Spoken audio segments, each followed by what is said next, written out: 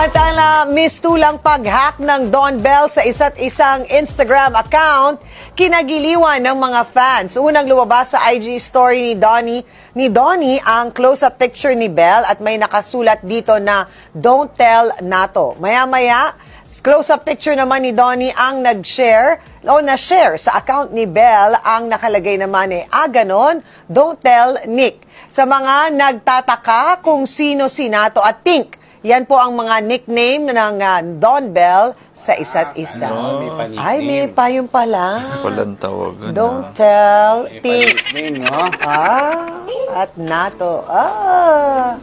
PH Neverland, ready na ba kayo?